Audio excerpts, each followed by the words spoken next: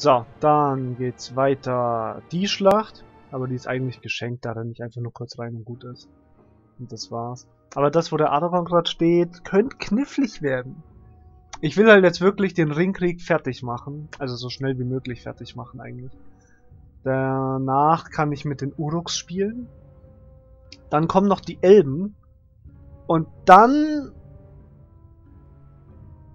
Dann kommt eigentlich die Edain-Mod, die ich mal ein bisschen machen wollte. Wenigstens so ein bisschen mal anspielen. Weil es wünschen sich einfach viele. Verstehe ich, ist in Ordnung. Äh, es ist auch nicht schlecht. Von dem her ist es jetzt nichts, wo ich sage, boah, da habe ich keine Lust zu. Ist halt jetzt nicht meine höchste Priorität, aber egal. Ja, jetzt ist er tot. Ähm, ich weiß nicht, ob ich einen Ringkrieg eh dein Mod mache oder nur ein paar Gefechte. Das muss ich mal sehen. Je nachdem, wie das läuft und funktioniert. Ah. Und dann weiß ich auch nicht, welche Version der Edain-Mod. Ich denke einfach mal die neueste, keine Ahnung. Muss mal gucken. Ich weiß ja nicht einmal, ob an der Edain-Mod noch aktiv gearbeitet wird. Keine Ahnung. Weiß ich nicht. Aber... Boah. Muss, muss ich halt gucken, ne? Sch schauen wir mal, dann sehen wir schon. Und was wahrscheinlich einfach mal die neueste. Wenn der Ringkrieg da geht, vielleicht spiele ich einen Ringkrieg mit Menschen oder so. Hm, muss ich mal gucken. Kann ich jetzt nicht sagen, weiß ich noch nicht. Ist, ist kein, kein Plan. Vielleicht auch nur Gefecht. Ich muss halt gucken, wie ich Lust drauf habe, muss ich ganz ehrlich sagen. Hm, und dann, dann, dann geht's richtig ab. Weil dann spiele ich den normalen Aufstieg des Hexenkönigs wieder, Ringkrieg mit allen Völkern, ohne dass ich mit meinen Finanzen ins Minus rutschen darf. Also das gibt's einfach nicht. Ne? Wenn das durch einen Bug passiert, okay, aber ich darf jetzt nicht Einheiten hier auf der Karte, auf, in der Spielkarte, also im Gefecht quasi, ausbilden und mit auf die Ringkrieg-Karte nehmen, wenn ich es mir nicht leisten kann. Und das wird eine krasse Herausforderung im 1 gegen 5, das kann ich euch versprechen. Ich habe keine Ahnung, wie ich das hinkriegen soll. Äh, es wird unglaublich anspruchsvoll. Also wirklich unglaublich anspruchsvoll. Aber das, das ist die Herausforderung. So. Nachdem du so unbesiegbar bist. Hau da mal kaputt.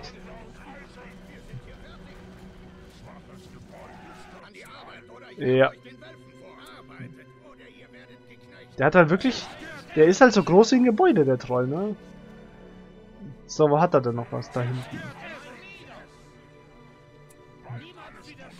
So, haut's den Baumeister tot. Gewonnen. Ziemlich, ziemlich easy. Ja. Passt. Super Sache. So. Mache ich jetzt nur hier einen kleinen Save Stat. Ich werde jetzt hier speichern. Genau. Okay. Und dann noch beim Aragorn. Der könnte böse werden. Vor allem, weil er halt hier Reiter hat gegen Bogenschützen. Ich werde also einen Turm bauen müssen, wo ich die Bogenschützen reinknall, dann durchhalten, bis der Angriff vorbei ist, dann schnell ausbilden und den kaputt rushen. Müsste gehen. Muss man mal gucken. Also. Oh, die Karte ist cool. Auf der spiele ich selten. Aber die, die gefällt mir. So, wir können uns den Vorposten hier holen. So. Ich habe übrigens gelesen, manchmal lese ich, ja, kommt vor. Ja, guck, hier hat's das da. Ja, interessant. Dass einige diese Codewörter ziemlich lustig finden. Deswegen werde ich versuchen, damit weiterzumachen. Und im Zuge dessen wird es in dieser Episode ein Codewort geben. Ich warte noch so zwei, drei Minuten. Oder vielleicht auch zehn, das sage ich euch ja nicht. Ne? Bevor ich euch das Codewort für diese Folge verrate. Und dann mal sehen, wer das alles in die Kommentare schreibt. Könnte lustig werden. Ich weiß gar nicht mehr, was das letzte Codewort war. So viele, glaube ich, hatte ich auch noch gar nicht. Letzte Episode habe ich es vergessen. Kommt vor. Aber wenn da jemand schreibt, hey, du hast kein Codewort genannt, dann weiß ich erst recht, dass jemand die ganze Folge gesehen hat, weil dann hat er die ganze Folge gesehen und es war ja kein Codewort da. Und dann sagt er mir das und dann weiß ich, hey, wow, Respekt. Also, Codewort, diesmal sogar plastisch in der Webcam gezeigt. Das Codewort für diese Episode, Glühweinbonbons. Hm. Habe ich mir auf dem Weihnachtsmarkt besorgt. Sind zwar viel zu teuer, aber ich stehe auf die Dinger. Ich mag den Geschmack einfach. Glühweinbonbons. Und für alle, die sich jetzt denken, boah, was für ein Idiot, warum lutscht er Bonbons, wenn er Glühwein trinken kann? Es hat damit zu tun, dass ich keinen Alkohol trinke. Gar keinen. Auch nicht zum Geburtstag, auch nicht zu Weihnachten, auch nicht zu Silvester, auch nicht zur Hochzeit, auch nicht zur Beerdigung. Gar nicht. Gibt's nicht. Ich trinke keinen Alkohol. Allerdings esse ich Prinzregent-Torte, weil die einfach saugeil schmeckt. Da ist auch irgendwo Alkohol drin. Aber ich glaube, das ist vernachlässigbar und auf die will ich nicht verzichten. Aber ich esse auch sehr selten. Zweimal im Jahr oder so ein Stück und das war's, weil ich halt einfach nie zum Bäcker gehe. Äh, ne? Ähm, aber egal. So schaut's aus.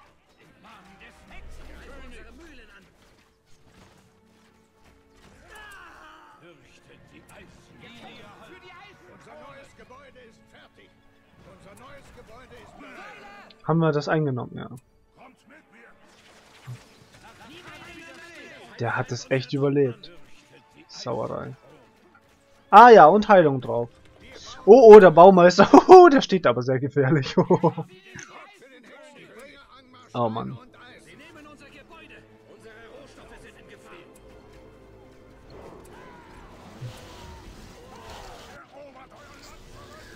Na gut, nachdem wir das jetzt gemacht haben, Okay, Mühle verteidigt. Pfeile machen da nicht so viel Schaden. Oh oh. Das holen wir uns aber wieder. Ich weiß nicht, wie viele YouTuber während dem Zocken Glühweinbonbons lutschen. Aber ich glaube, es sind nicht viele. Oh oh, Gegner. Ach, die sterben ja weg wie die Fliegen hier. Ich meine, die haben ein Schild, ne? Benutzen ihn aber nicht. Wo rennt denn der jetzt lang? So. Jetzt bauen wir hier. Vielleicht baue ich auch so ein paar Trolldinger. Kann nicht schaden, oder? Ich muss eh gucken. Wenn jetzt, wenn ich hier nur 360 äh, Einheiten ausbilden darf, was unglaublich wenig ist, um, um mal ganz ehrlich zu sein, dann habe ich ein Problem. Dann muss ich nämlich mit Festungen spielen. Weil ich anders das Geld nicht ausgeben kann. Geht auch, ist aber irgendwie doof. Du bist halt einfach im Nachteil, ne? So.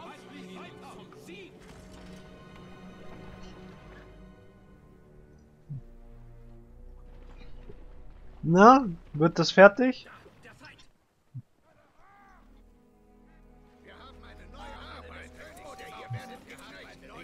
So. Haben noch ein paar Mühlen. Was sind denn das eigentlich? Schneetrolle, Hügeltrolle, Stachelbänder. Hm. Warte, die Wölfe haben Stärken Lanzenträger. Aha. Also ich habe mich jetzt nie mit dem Wolf angelegt, aber wenn ich eine Lanze hätte, glaube ich, wäre ich einem Wolf gegenüber im Vorteil. Reichweite und so. Ja.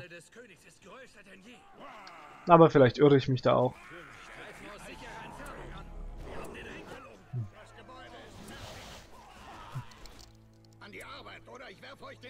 So, die ganz große Frage ist jetzt, wo hat der Gegner sein Lager?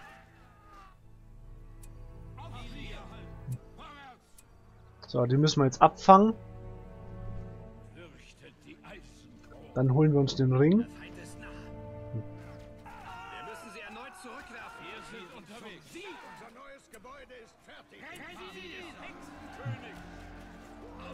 Ja, die sterben weg. Ha! Oh oh. Also der macht gut, gut blöd Schaden hier. Was hat er jetzt gerufen? Hobbits. Oh Gott. Naja. Sind alle gestorben. GG! Tschüss, Hobbits. Die ruft man halt nicht mitten direkt davor. Das ist halt Schwachsinn. Ne? So, jetzt findet's mir mal bitte den Gegner.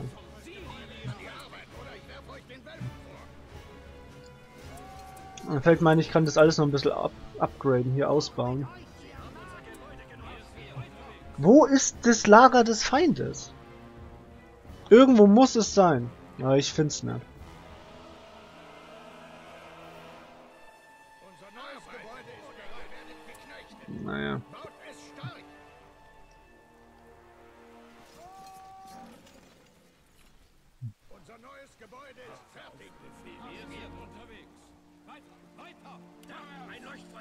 Ich find's halt einfach nicht. Keine Ahnung, wo es ist. Irgendwo muss es sein. Na, mal gucken. Irgendwann werde ich finden, weil irgendwo muss es sein und ich will das jetzt haben. Komm. 14 macht die Mühle. Okay.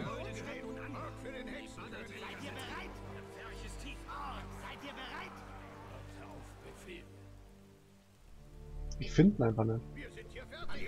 Also ich bin mir sehr sicher, dass er irgendwo...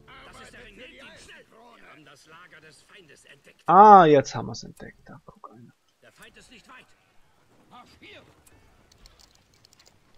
Nein, ich wollte den... Ah!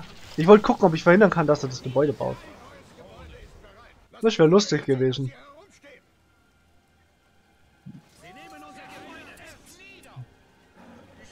So, Trolle. Zeigt's mal, was ihr könnt. Schnell sind sie, ja?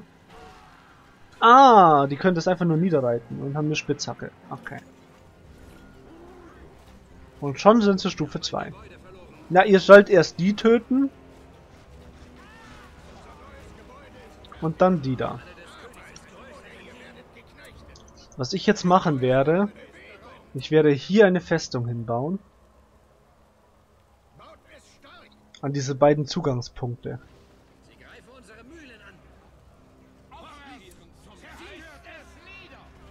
Ja. An beiden Zugangspunkten werde ich äh, Festungen bauen. So, mal sehen, wie gut die gegen Reiter sind. Oh, ist ganz okay. Schon wieder Hobbits. Nein, noch schlimmer. Aber die können wir ja alle überrennen. Naja, schon ein bisschen zumindest.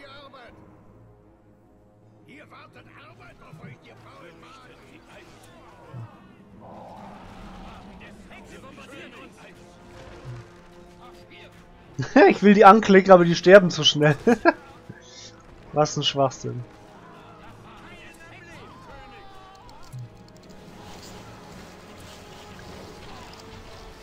Gut, spielt alles keine Rolle. Ich habe jetzt hier die Trolle. Hol mir die Waldläufer noch.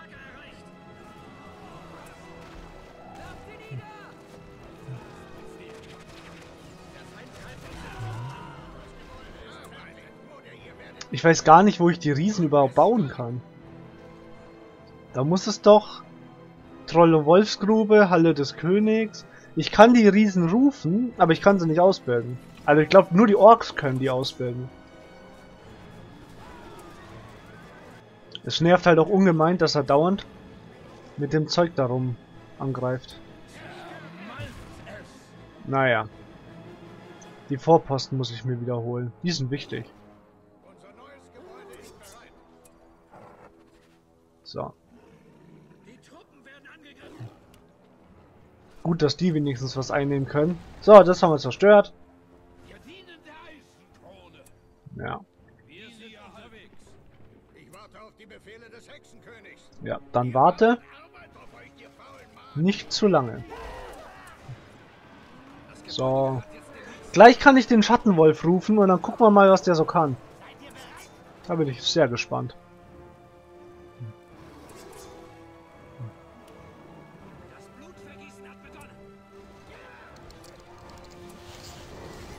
Nein, ich wollte den Wolf noch rufen. Mann, wie doof. Na gut. GG. Er gibt auf. Oha, da hat die Ritter von Dol Amros ausgebildet. Und dann gibt er auf. LOL! LOL! Die sind sauteuer. Erstmal braucht man Stallungen Stufe 3, glaube ich. Und dann kosten die 1500. Aber schlecht sind sie nicht. Schlecht sind sie halt wahrlich nicht. Ja, eins. Aber mit den Menschen geht's langsam zu, zu, zugrunde. Die haben noch fünf Territorien, danach sind sie Geschichte. Und danach kann ich einfach nur noch drüber roffeln und das war's. So, überall Festungen bauen, wo wir Festungen brauchen. So. Das holen wir uns, das holen wir uns, das holen wir uns. Äh, auf die Katapulte kann ich jetzt ein bisschen verzichten. Die schicke ich dann lieber dahin. Dann schickt man die dahin. Die dahin. Rest darüber. Schaut doch gar nicht schlecht aus, was ich hier mache, oder? Nee, ich würde sagen, das schaut ziemlich gut aus. So. Rogasch bleibt. Warum? Wo? Ah! Oh, ja, der wird angegriffen. Hoho! Naja, gut, die Festung kann ich eigentlich ziemlich easy verteidigen. Hm. Dürfte nicht zu schwer werden. Oh. Naja, mal gucken. Mal gucken. Aber zumindest habe ich eine Festung. Das ist schon mal was. Damit kann ich arbeiten. Ich krieg eine Bonus-Gasthauseinheit beim Start. Ist auch nicht schlecht. Ja, muss man mal gucken. Müsste schon gehen, müsste schon gehen. Ach, ich habe ja den Flammzepter-Magier hier. Dann ist es easy. Sollte easy sein, sagen wir mal so. So, noch zwei Türme bauen. Du hast einen Plan, ja, das wünsche ich mir. Oh, ein Wolfi. Guck mal, knuffig. Oh. Hm. Naja.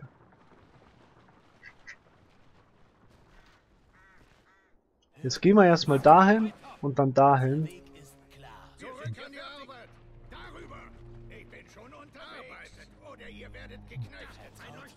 So, wo ist der Gegner?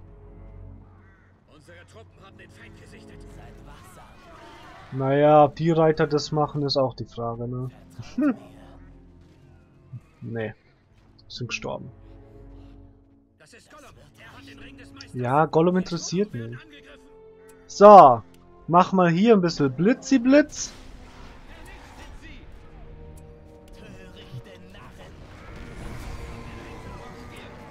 Dann noch ein bisschen Wort der Macht. Und dann noch das Lichtinferno. Macht das Flächenschaden? Ein bisschen. So. Sieht so aus, als hätten wir alles verteidigt. Fertig.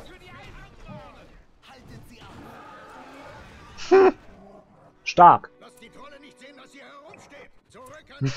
der verteidigt halt alles. Ich meine, der steht da, legt sich mit einem Nazgul, den Olifanten und ein Dutzend Trolle an. Das ist schon heftig. Das ist heftig. Gut, der hatte Unterstützung und wahrscheinlich wäre er gestorben, aber erstmal krasser Schaden. Erstmal krasser Schaden. Und den Feuerball kann er halt gleich wieder casten, ne? Und er macht guten Schaden, wenn du jetzt hier mal guckst. Der haut gut auf das Gebäude ein. Und der Feuerball, erst recht. Ja, das war GG. Easy. Easy verteidigt. Der hatte ja gar keine Chance. Nett. 42. Nicht schlecht. Gar nicht mal so schlecht.